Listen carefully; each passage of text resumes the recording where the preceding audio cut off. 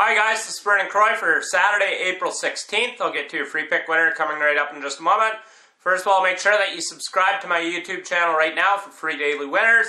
I'm currently on a 95 and 74 free picks run. Subscribe to my YouTube channel right now. I'm coming off a monster win last night as I cashed my sixth unit NHL game of the month with Chicago Blackhawks, beating the St. Louis Blues 3 to 2. I'm now on a dominating 16 and 6, 73% NHL run the last 22 days overall, making my $100 clients $4,145.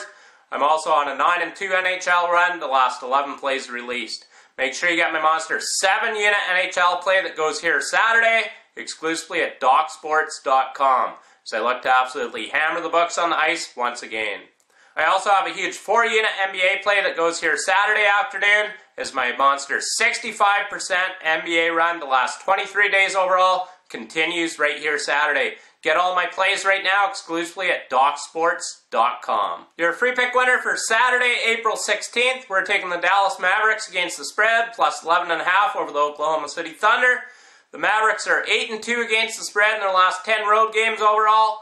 They're 19 7 and 1 against the spread in their last 27 trips to Oklahoma City. So once again, your free pick winner for Saturday, April 16th.